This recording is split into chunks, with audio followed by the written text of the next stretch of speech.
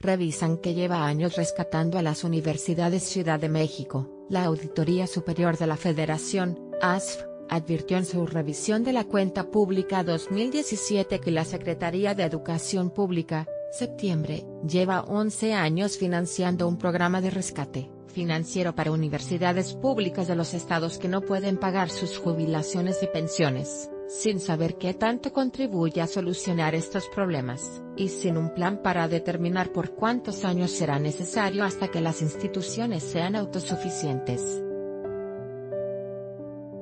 En 2017, la septiembre repartió entre 28 universidades 589.3 millones de pesos, sin que la dependencia pudiera determinar en qué medida contribuyó el programa a reducir los problemas financieros de las UPES, universidades públicas estatales, para el pago de pensiones y jubilaciones y lograr su viabilidad, lo que representa un riesgo de erogar recursos de forma inercial, y esto sin conocer el beneficio para los poco más de 200.000 trabajadores de las universidades con derecho a pensión, según consignó la ASFA en la Auditoría de Desempeño 2017 011110070139-2018.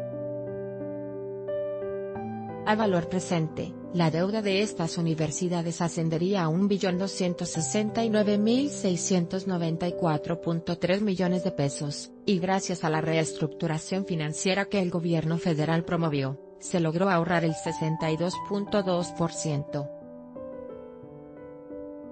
Aún así, por cada 10 pesos que las instituciones están obligadas a pagar, el Fondo de Apoyo Federal tiene solo 4.1 pesos, de acuerdo con la ASF.